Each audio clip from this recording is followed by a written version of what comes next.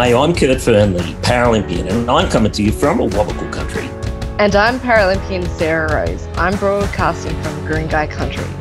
This is You Little Ripper, the place where we celebrate all things parasport. And Sarah, welcome, three time Paralympian, a bronze medalist, star in the pool. Welcome to your first ever You Little Ripper. Thank you so much. So excited and honoured to be here. You joined the Paralympic movement in 2004, your first Paralympic Games, where you got a bronze. You would make it to the next two after that, Beijing and London. Um, how have you seen the sport change over your time? Um, I've really seen a change in um, the commercial side of things. We're seeing now um, the Paralympics being broadcasted on major networks like Seven.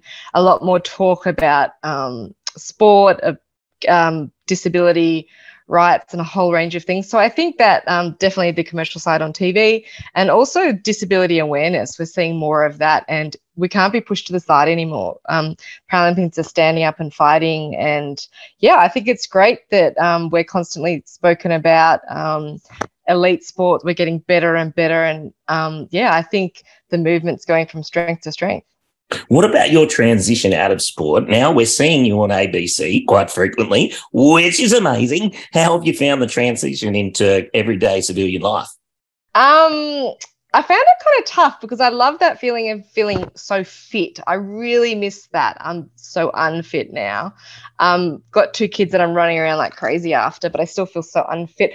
But I love that. I really love um, being on the ABC um, and talking about um, sport, Paralympians, the disability movement, um, what we can do um, to get Paralympians um, better funding, to get people with disability on boards as decision makers in employment. We still have so much. Um, so far to go, and I've really loved still being involved and being able to sp- speak about these things because if they're not spoken about, they're not addressed and they're not front of mind. I love that you're. It, it's about making sure that when it comes to people with disabilities' lives, that our voices are heard. Uh, and when it comes to sport, you Little Ripper is about amplifying as many voices of people with disability across this country as we possibly can. And before we speak to one of the absolute stars of the current Paralympic movement, we've got to get into our You Little Ripper moment. So, Sarah, this is a part of the show where we jump into a sp- particular event that's taken place over the recent past that has you screaming, You Little Ripper. What is your You Little Ripper moment for the year? My little Eureka moment, Kurt, is the outstanding performances by Tim Hodge at the Citi World um, Paris um, Swimming Series that took place in Feb. He won seven medals, three gold, two silver, one bronze in an amazing finish for Hodge on, on night three, breaking his own world record in the men's 200 IM shaving 0.5 off his world record um, and saving the best for last. And he um, beat his last um, world record from the World Paraswimming Championships last year. Um, yeah, that was definitely my my favorite You Little Ripper moment. Uh, that is a country's haul all on its own. It's the United Republic of, of Tim Hodge. Uh, my little ripper moment is also from the uh, the, the World Championships. Uh, is Jasmine Greenwood. Now, Jasmine Greenwood, she's uh, everyone at the You Little Ripper audience. You would all know Jasmine Greenwood because I claim a little bit of Jasmine Greenwood's success. I bask in her glory.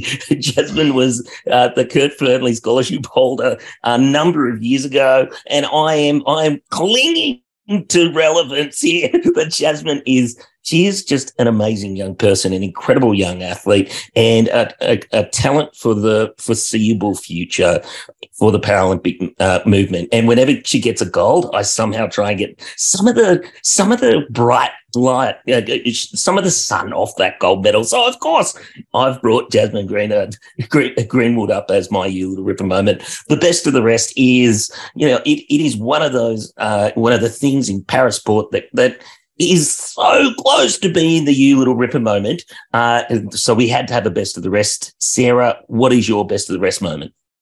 My best of the rest moment would be the para archery, um, and Jonathon Milne set both the Australian and national records in the open compound. And he's going from strength to strength and did absolutely incredibly. So that would be my best from the rest. How about you? Mine is back in the pool again. Rowan Crothers. We all remember Rowan Crothers from his tightrope act in Tokyo in 2020. Are we still calling it 2020, or can we actually acknowledge that it was Tokyo 2021 yet? Uh, but, but, but I digress. Rowan Crothers, another gold medal in the 100 meter freestyle race. The legend, the myth, the man himself is here. Rowan Crothers, welcome back to You Little Ripper. Lucky to be here. How you doing, guys? Mate, we're loving life here at You Little Ripper, as we always are, especially when we get to see you bring home gold medals. Um, I hear, I, can you confirm, yes or no, were you dancing on the tightrope of the lane rope as uh, you did in 2020? Uh, World Series? No, I didn't actually. Um, in full honesty, the World Series competition for me was kind of a benchmark on my preparation leading into national team trials and then world champs come July, August. So it was a really good chance to kind of see where I'm at competition wise. And I mean, winning obviously means I'm in pretty great form, uh, but there's still a long way to go leading into Worlds. Um, thank you so much for coming on, Rowan. And just for our listeners that aren't too sure, can you explain what the Citi Para Swimming World Series is?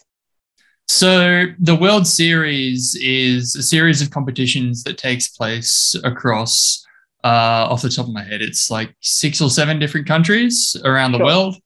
Um, so the Australian one happened in Melbourne in mid-February. Um, and there's also one that's coming up in Italy in about a week's time. Uh, I think it's like the 10th, 11th of March, something like that. Um, and they're just spread out kind of all over the place. Yeah, cool. So everybody, it's on the front of everybody's mind that 2020, 2024 is around the corner. Paris, the Paralympic Games. Um, what events are you working towards that will get you the result that you really you, you you're really driving for in Paris at the Paralympics? So my two main events are the 50 meters and the 100 meters freestyle. Um, everything is really gearing up towards that 100 meter freestyle at the moment now. So I won the 50 at Tokyo, but I only got silver in Tokyo. So you know I, I want to get two golds this time. That's the plan. Where do we follow you? What's on What's on the following eight months that you little ripper audiences can tune out tune in for to ensure that we get the most rowan crothers as we possibly can so the next eight months is going to be national trials which will be just after easter weekend i believe. Uh, that's at the gold coast um, at the gold coast aquatic center. And i believe that'll be streamed live. And then it'll be world championships from the 30th of july till the 6th of august. And that'll be on YouTube and on every good online news streaming platform. Amazing. Well, we'll all certainly be watching that and tuning in. Um, there are always young dolphin swimmers coming through the ranks. Who have you seen and who's one for us to watch? I think uh, there's a lot of really exciting swimmers that are up and coming, and I'm a little bit biased about this one in particular. But I trained with a girl by the name of Poppy Wilson, uh, okay. She is an S10 swimmer, uh, just like me, and she also has cerebral palsy. And she's pretty new to the game, but she's just getting faster and faster every time. She's really on track towards making the world championships team this year. And I'm so keen to see how she goes at trials, hopefully worlds, and then really onwards to Paris. Oh, amazing. Well, we'll certainly watch Poppy balance is a massive thing for an athlete to be able to get to a space where you are able to be the high level uh, competitive athlete, but also be able to engage outside of that so that you are, are around for the long term. Um, we're going to be talking about that over this year of, uh, of you, Little Ripper. But what does balance look like for you? Uh, well, balance looks like to me, I'm not very good at keeping my balance for starters. Uh, I'm absolutely shocking. Uh, but I think balance just applies in so many different ways across not just making sure you have a good kind of work life balance as an athlete. It's easy to just get so absorbed into sport and let that become who you are. I think I'm so much more than just a swimmer. Like, you know, I love all of my friends and my family. I love my video games, as anyone that follows me on Twitter knows. Uh, but outside of that, I think that something that you do as an athlete you have an audience and you have an audience of young people, of young people that want to be athletes someday or that look up to people with disability as role models. And I think a massive part of that kind of balance there is it's not just about doing the best you can to perform fast, but it's also about being the best role model that you can and trying to inspire other young people to whether they want to achieve their grandest dreams of competing at the Paralympics one day or if they just want to find friends and find a community and just take part of something bigger than themselves.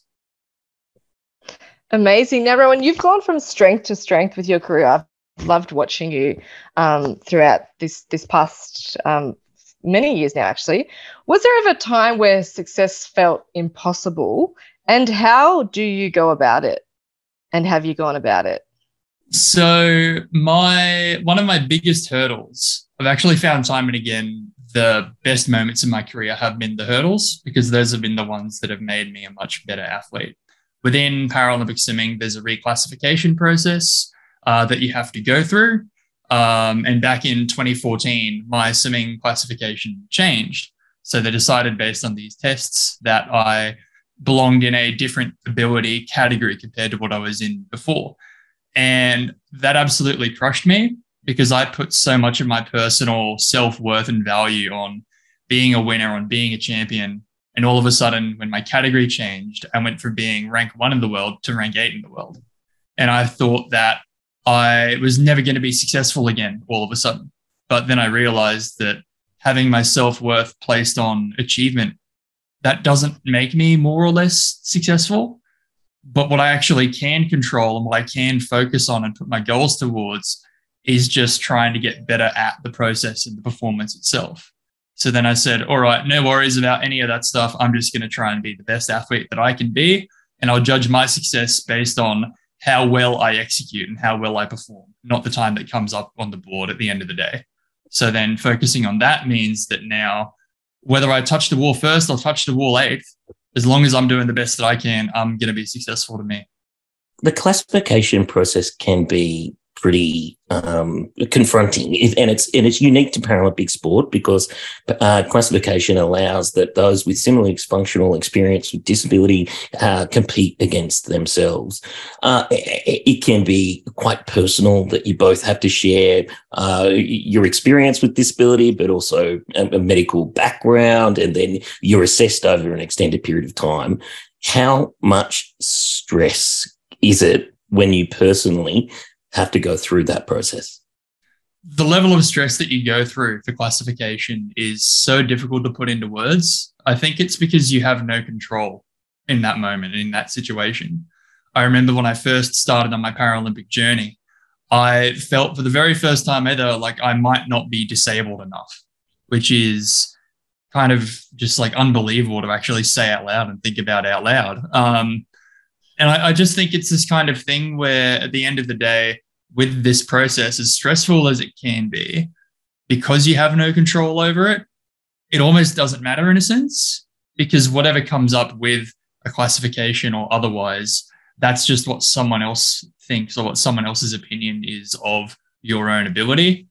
That may impact your category, it may impact your world rankings or whatever else. But ultimately, the things that you can control are how good of an athlete you are at your performance and at your process.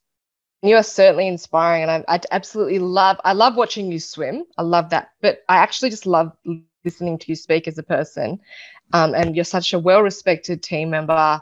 You're such a great guy, and you give so much for up, up and coming swimmers, and that's very inspirational to watch. And I know my kids love watching you, um, and you always have such important messages. And I think that there's so much more um, imp- like you're so much more than an athlete, an incredible human. And thank you so much for sharing um, the time with us. And I can't wait. I reckon you can do it, and I can't wait to watch.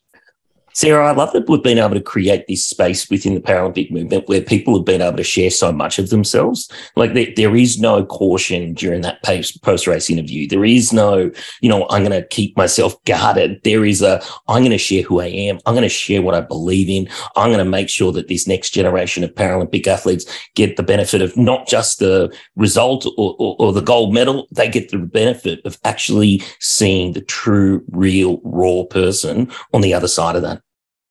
Yeah, absolutely. And I think that's the most important bit, really, that Australians see the raw um, talent, emotion, thinking behind um, our Paralympians. And I absolutely love seeing Ellie Cole marching in the Mardi Gras for part of um, World Pride Week. And um, a, a, shout out to our LGBTIQA plus community. Say, we love you. And it's been really great to see um, the community spirit in the last couple of weeks was amazing to see Ellie Cole out there in the Mardi Gras, having uh, bringing the celebration that she has given to the Paralympic movement for so many years into a different part of our community. Uh, I would also like to thank the listeners of our podcast. We love parasport here, and we want to share how amazing it is with the rest of the world. But we need your help to do that.